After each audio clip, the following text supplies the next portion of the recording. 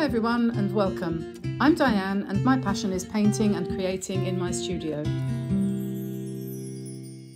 Every day I share a video with you on YouTube in which I paint and create all sorts of nature inspired pictures. I also share loads of tips on how to make the most of your painting journey, interrupted fairly frequently by our family of dogs, cats, chickens and sheep.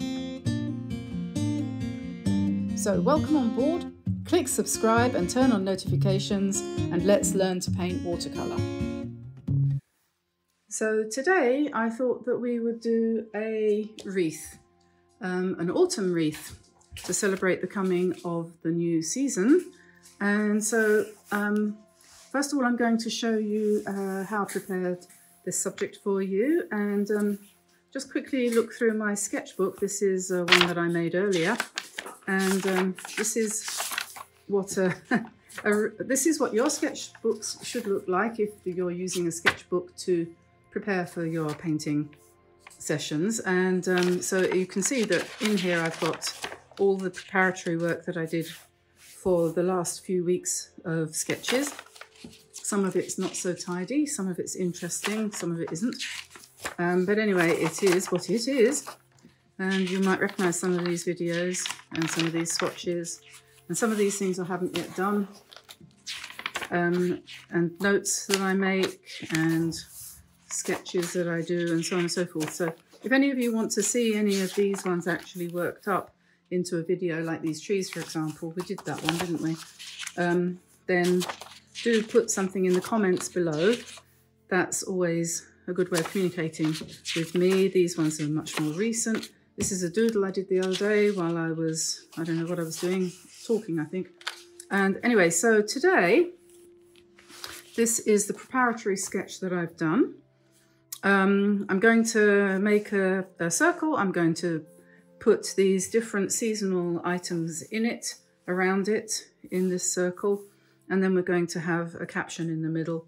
And I thought that, uh, although it's probably a bit um, hackneyed, a bit, you know, worn out, the, the, the, the, line from the poem by Keats, The Season of Mist and Mellow Fruitfulness, is a lovely, uh, evocative, especially if you happen to live in one of the parts of the world where you have lots of autumnal mists, like we do here today. The sunrise was beautiful as it came up through the mist.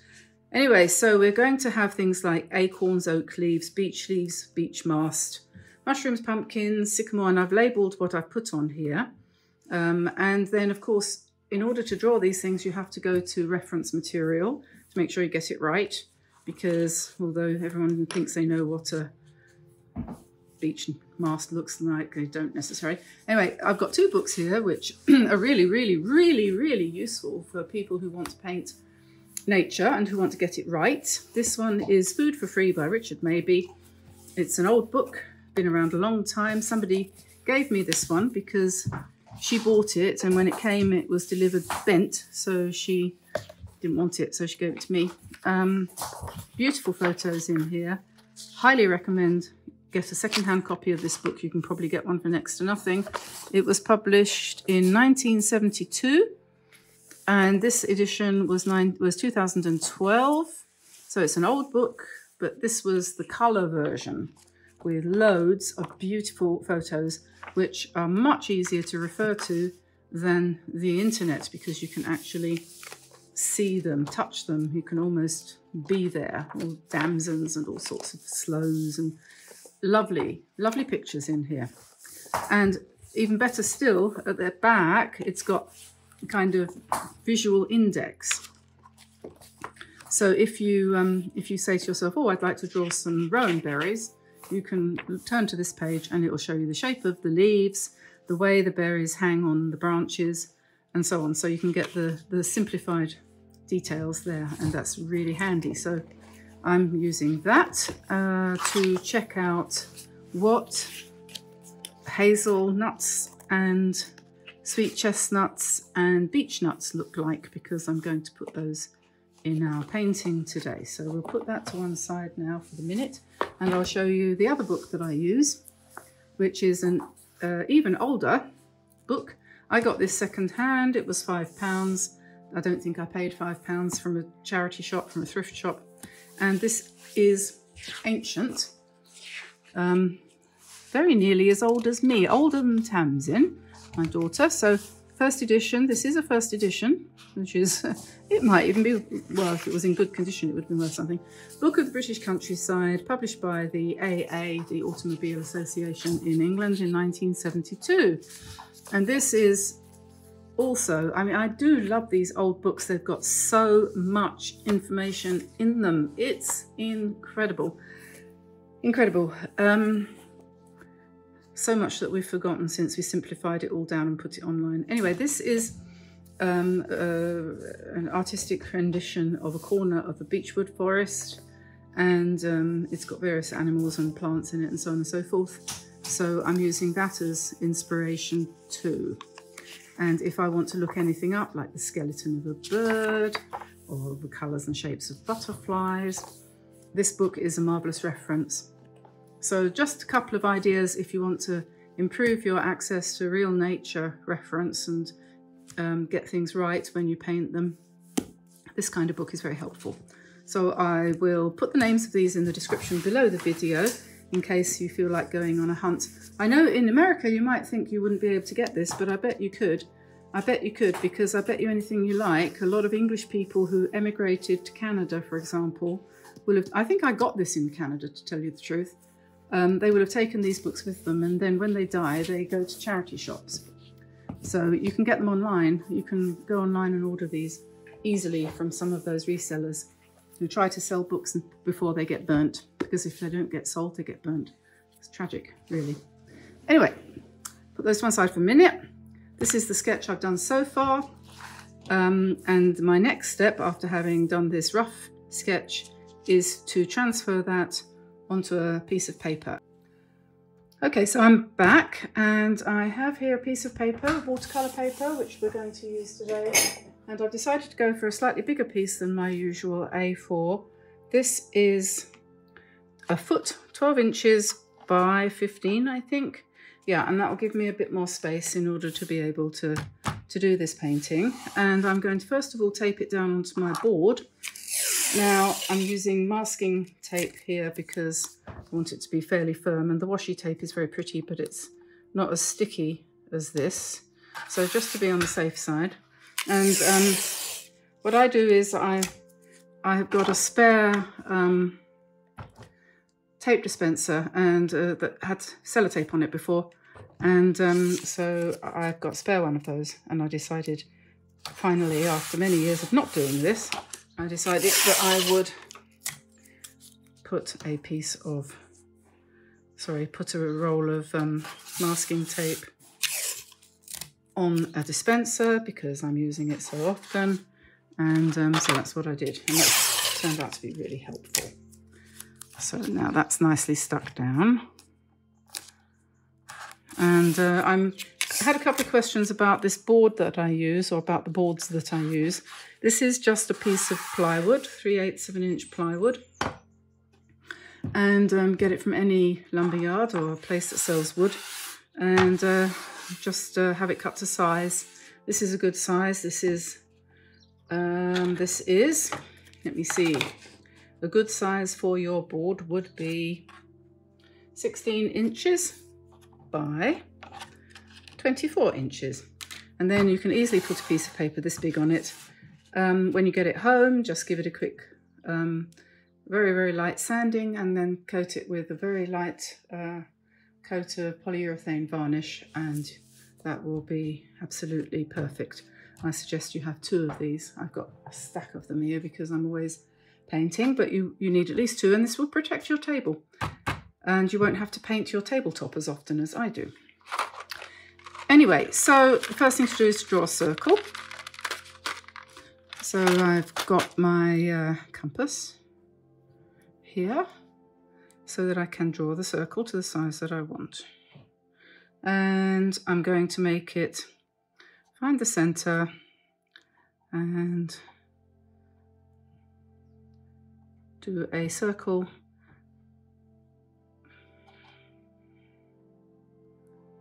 goes to within about half an inch of the top and the bottom. That's just a guideline really. It's easier than going and finding a plate if you happen to have a pair of compasses handy.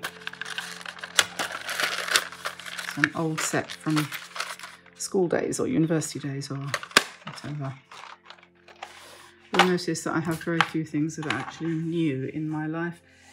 Um, so now the next thing to do is to start to draw the design onto here. So we go back to my reference drawing and then I'm going to start drawing that and uh, I'm not going to make you watch me do that this time because it's probably going to take quite a while. So I'll draw that and I'll come back as soon as it's drawn and then we'll go ahead and paint it.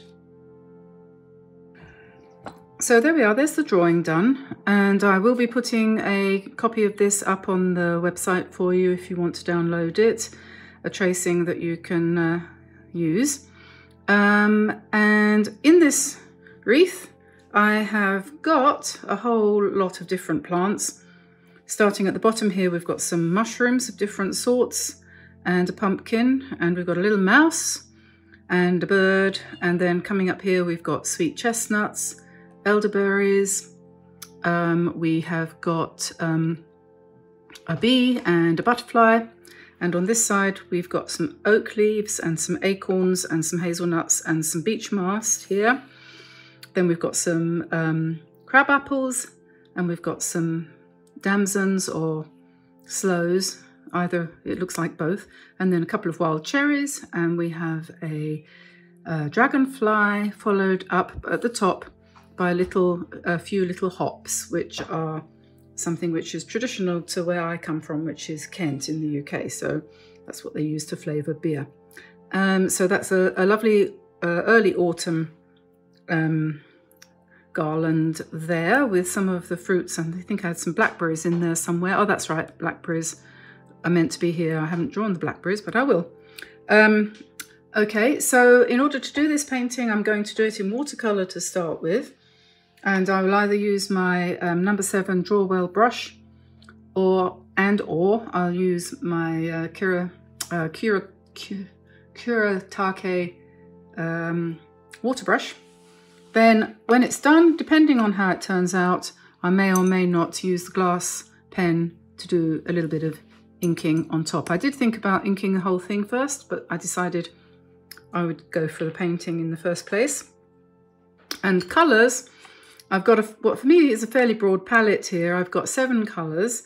I'm not sure if I'll use all of these, maybe, maybe not. But anyway, what I have here um, as being the most likely to be needed are cobalt blue, quinacridone gold, burnt sienna, olive green, Winsor violet, alizarin crimson and sepia.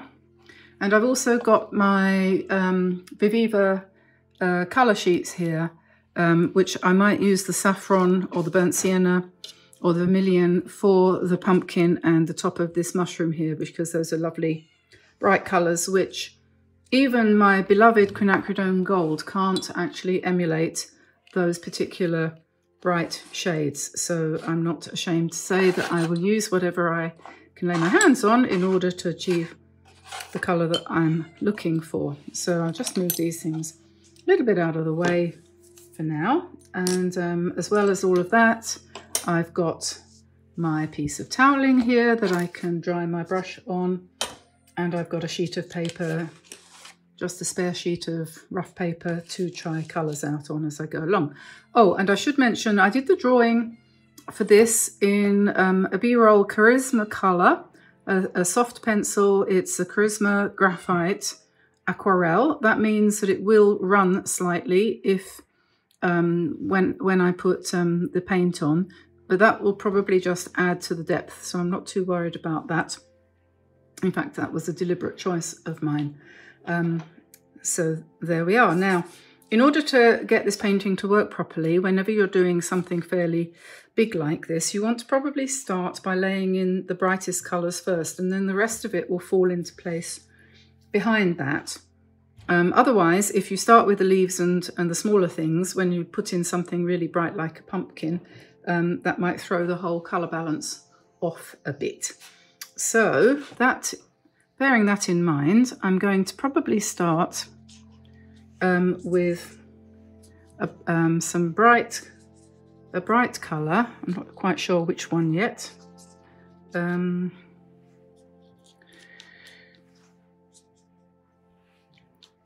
My uh, colour sheets are starting to wear out, so I'm getting to the point now where um, I'm going to have to either get some more or um, go back to my other colours. So I'm going to start by putting in some, um, this is, this is dusk, or no, this is vermilion, I think. No, it's not. It should be though. Vermilion is probably the best way to go. So.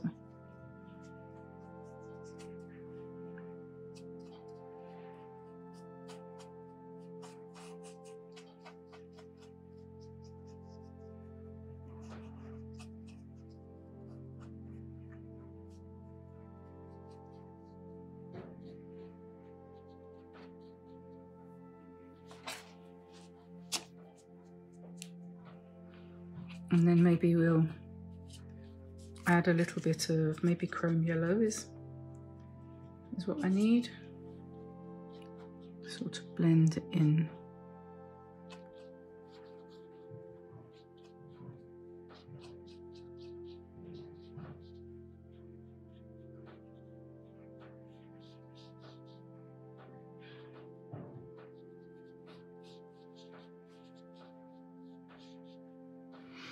Okay, so that's that. And then the other really bright thing is the top of the toadstool, which is a nice red. So I'm mixing alizarin crimson here with um, chrome yellow. And then I'm going to come in and just try and paint a little bit around the dots because I'm going to say that this, this particular toadstool has got white spots on it. So we'll just paint round those using a, a rough mixture of alizarin crimson and chrome yellow. So just trying out blending actually the normal Winsor & Newton or Old Holland colours with these um, colour sheets. So those are the most vivid colours. And then of course, I did say that we were going to have some wild cherries up here. So since I've got red on the brush, I'll put those in. And what else have we got that's red? The apples are going to be a little bit more golden so I'm going to use quinacridone gold and a touch of red.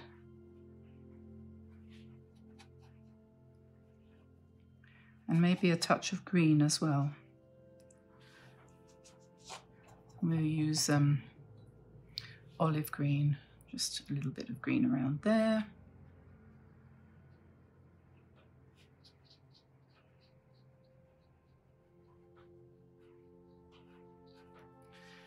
Okay, now what else have we got? I think it's probably not a bad idea to do the fruit and so on. Oh, these um, toadstools down here are also on the red side, so we'll put in their lids.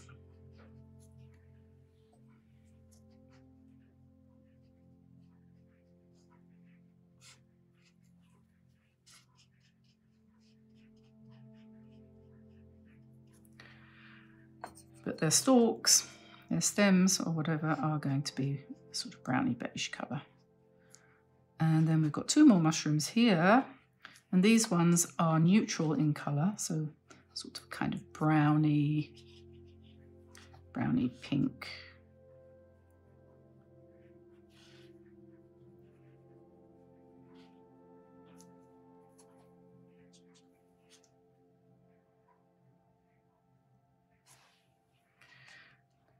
So that's that. So those are most of the bright colours. Um, the other bright thing is the, the blackberry up here, which is sort of bright. And I hadn't drawn it very well, but I'll just come in and finish that off with lots of little circles.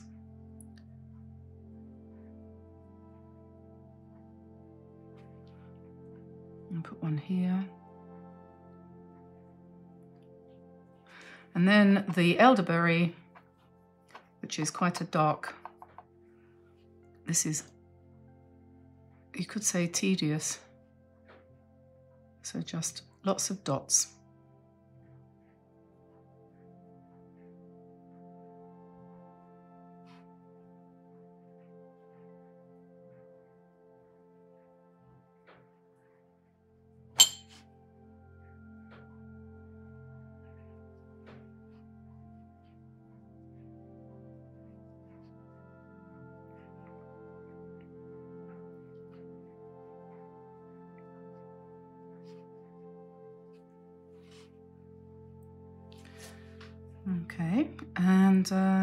Oh yes, the damsons over here, which are also purple, like that. And try and make a little bit of variety there by coming in with something a little bit darker. Damsons or sloes, I'm not sure which I would like those to be. If they're slows, they're smaller. Uh, what else have we got that's got colour?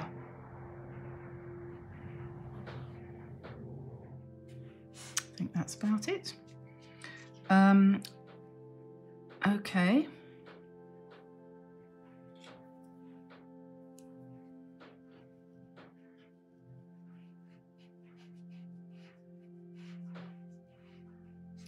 So I'm going to come into the pumpkin and draw in some of its shadowy bits where the, um, what would you call those? The segments, I suppose, sort of thing, are.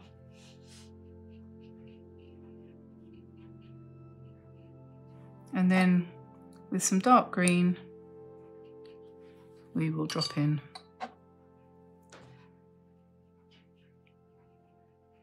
the stem.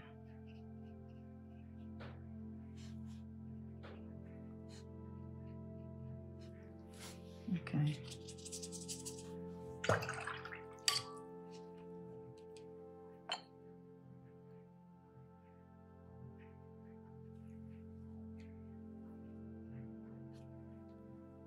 Don't want it quite as dark as that, so I'm just going to lift a little bit out.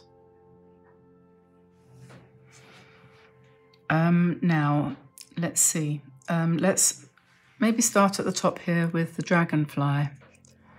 And um, let's just drop in some nice light, light blue and then maybe a touch of violet for the second of the wings, like that. And then the bee, we need some yellow for the body parts that are yellow. And we'll let that dry and then we'll put the black in in a minute. But um, a little bit of orange at the bottom and let that bleed a little bit. Um, and then we have a butterfly up there. So I think to sort of match the dragonfly, we'll do the butterfly in, in blue. Call this a blue butterfly.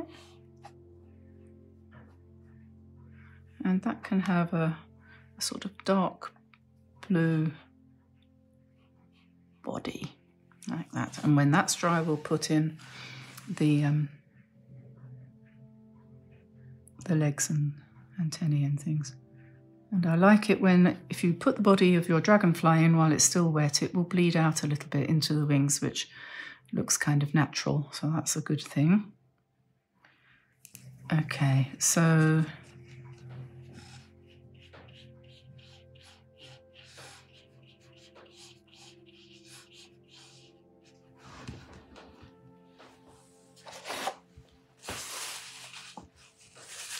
a little bit concerned that I might have made the, the pumpkin a little bit too bright. So I'm just going to lift some of the colour out.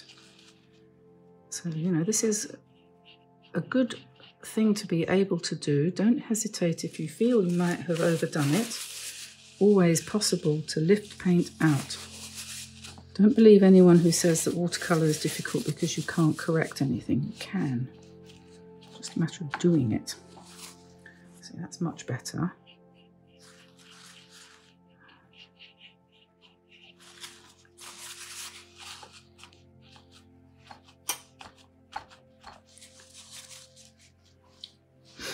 Right, now we need to start thinking about some greens. And um, I'm going to start at the top, I think, work down perhaps, with my hops, which are sort of yellowy green colour like this.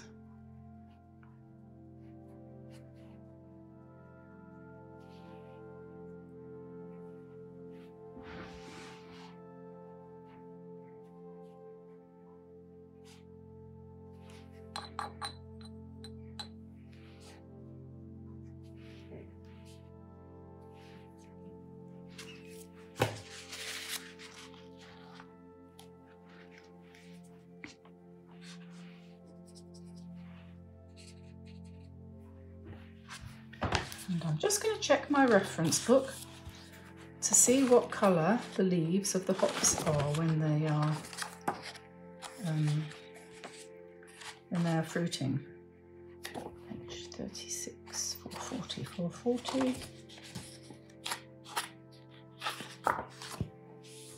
Hops. Right, they're quite quite a bluish green.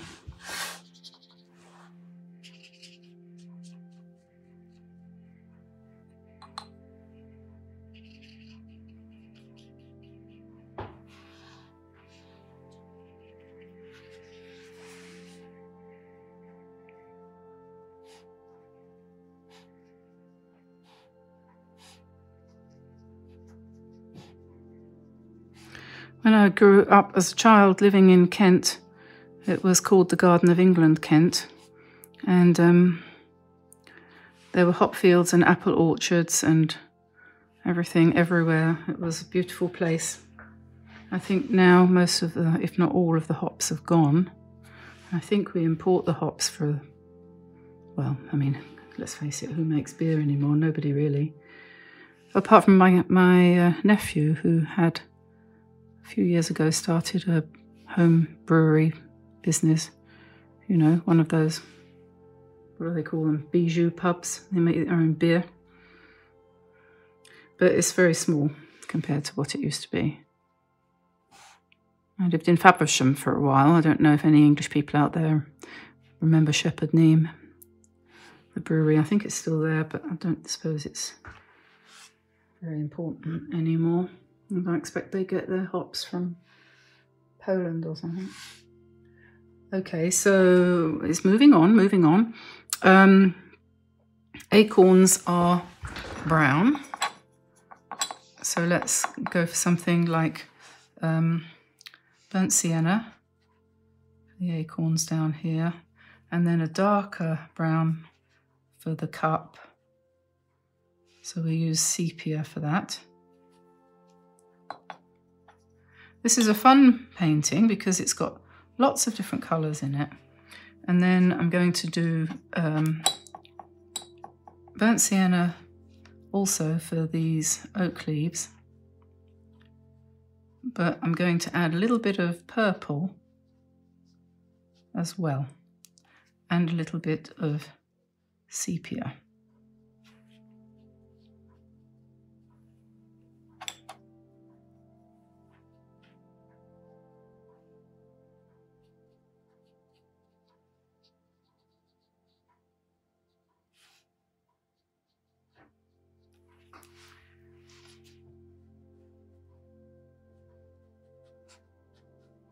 Shadow in underneath those mushrooms since I've got the right colour.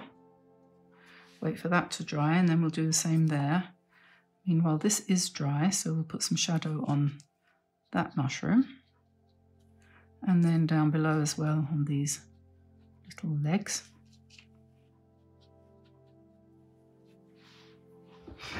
And um, so green, some kind of green here this beech leaf.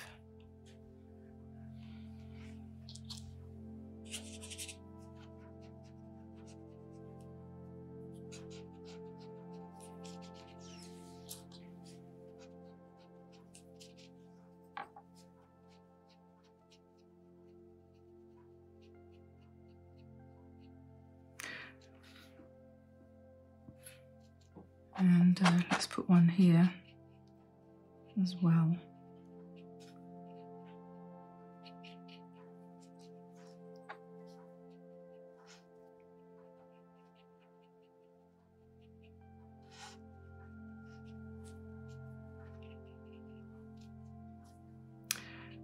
And here we've got a little nut.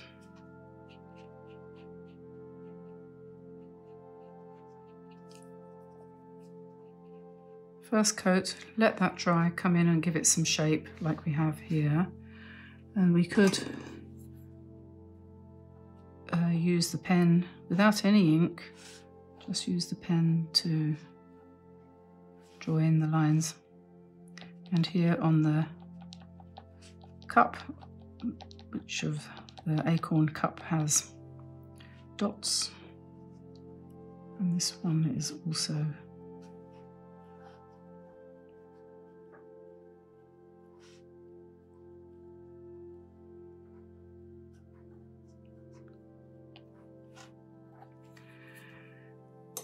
There we are. And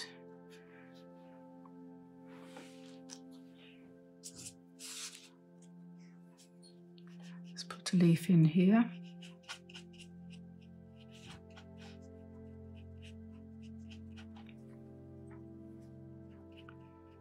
So that's olive green plus a little bit of quinacridone gold. Don't really like the way I did that, so I'm going to take that out, make that shorter.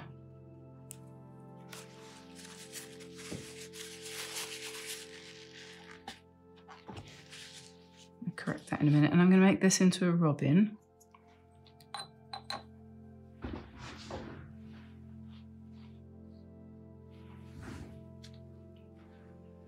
So we give him a red breast.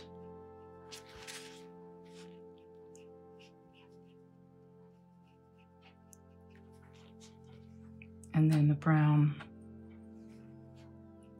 back and tail and wing.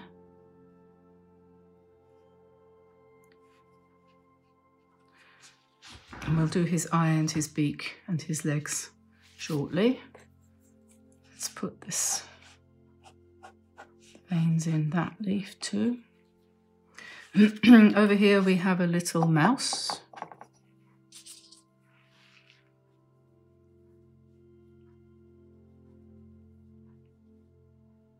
So burnt sienna for his little face.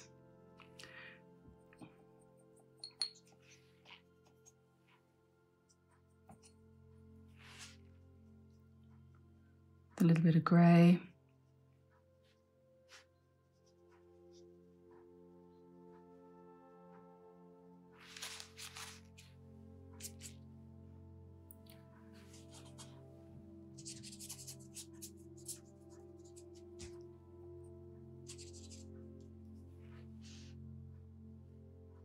A bit of pink for his ears and we let him dry too. And then we'll put in the details of his paws and things. And then we've got some leaves here.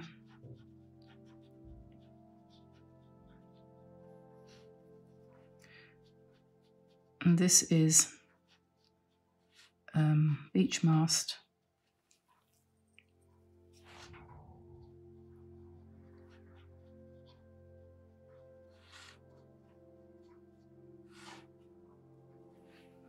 has a sort of greeny brown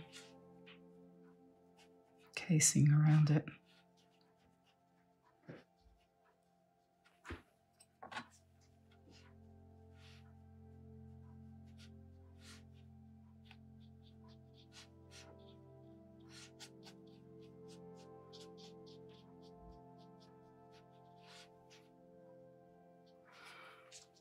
And then the stem of the mushroom, I guess, is going to be just kind of beigey colour. A little bit of brown in it like that.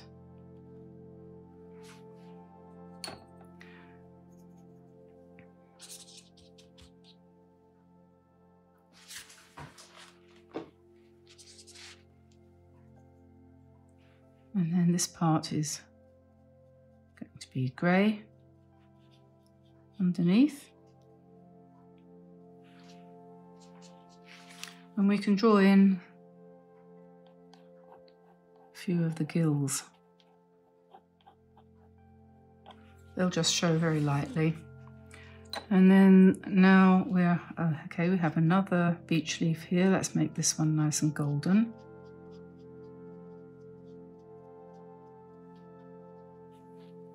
Touch of green.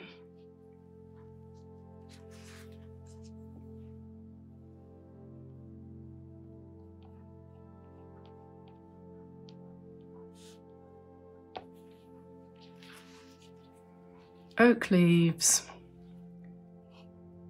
golden on the underneath and then into that we're going to paint other colours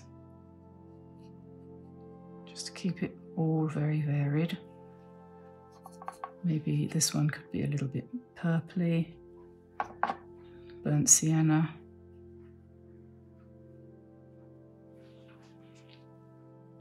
And then the apple, that's going to be a brighter green, slightly brighter green for the leaves. They're sort of smooth edged, the apple leaves a little bit more.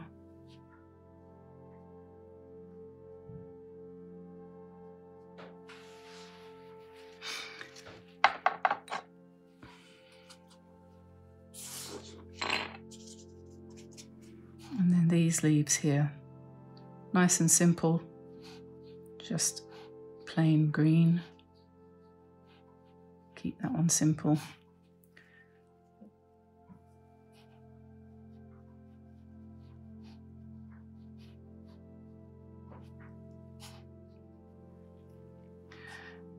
Cherry leaf, thin, jagged, there. And I'm not quite sure Oh, those, oh, I don't know what those ones are. Perhaps they're apple leaves as well. They look like they could be.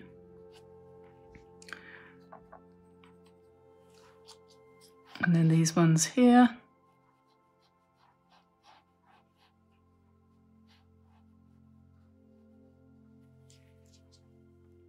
Let's have a few, I forgot to draw them in, but we'll have a few red berries there. We could call this, this would be rowan.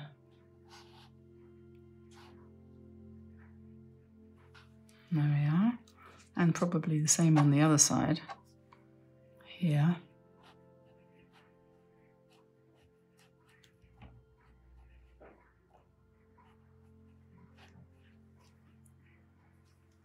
Rowan berries.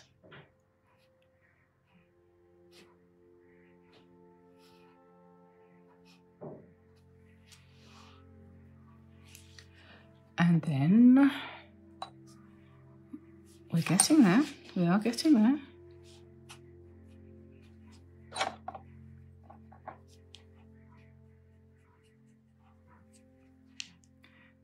These are blackberry leaves and they're always pretty brownish and jagged.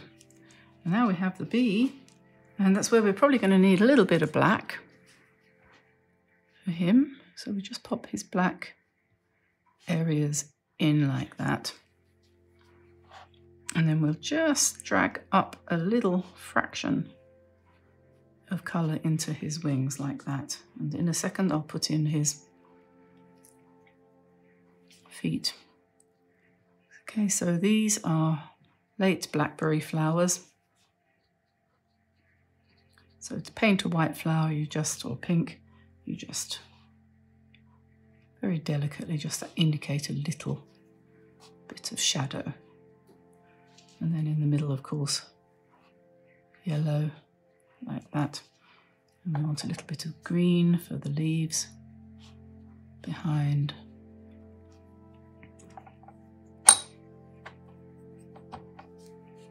And these are elderberries, so we need some nice green leaves for them.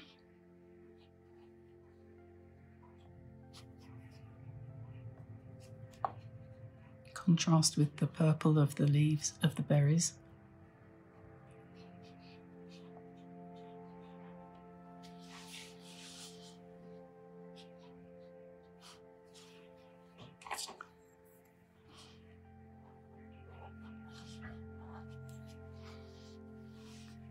And then here we've got horse chestnut. They're one of the more colourful leaves uh, in England, I think. Probably everywhere. I think they have a lot of them in Spain, don't they? And um, the casing is usually green, isn't it? Light green, I think. Was my phone speaking to me. I'm not sure why. I didn't ask him to. Inside of the horse chestnut, the case is beige. Like that. And then the chestnut itself, of course, is quite bright brown, like that.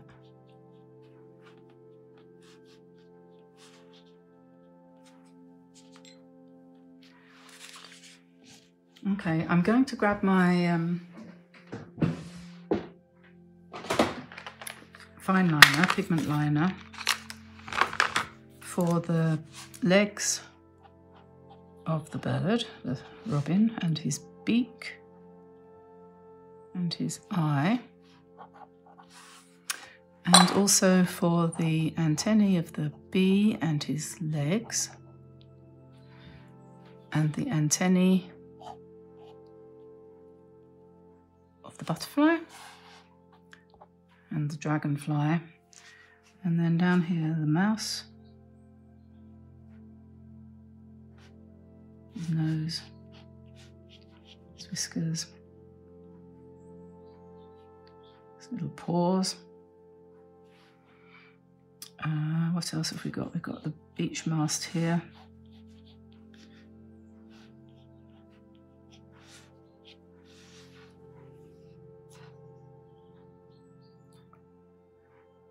Okay, I'm going to let that dry and then I'm going to rub out all the pencil and I'll be back in a second for the final finishing touches. So that's the final painting. I hope you've enjoyed watching me do that today. Um, I've just put uh, a line from Keats in the centre there to give you an idea of what it would look like with some kind of quotation or slogan in the middle. Um, something that you can adapt to use for lots of different purposes. It would make a nice card or any other um, invitation, something like that. If you've got some kind of um, harvest festival going on, it could be used for something along those lines. Um, anyway, it's fun to do. Um, you can visit my website at dianeantone.com and download the sketch, and you'll probably make a much better job of it than me. So I will say goodbye for now. I'll let you get on with the rest of your day. Have a lovely time painting and uh, enjoy the evening. And I'll say see you tomorrow. Bye, everybody. Bye bye.